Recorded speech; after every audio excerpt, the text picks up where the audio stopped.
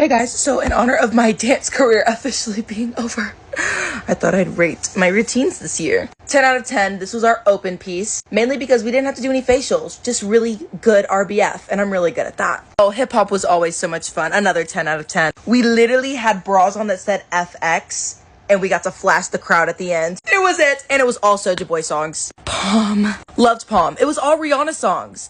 But when I tell you this dance literally killed me, could not breathe after it. But the costume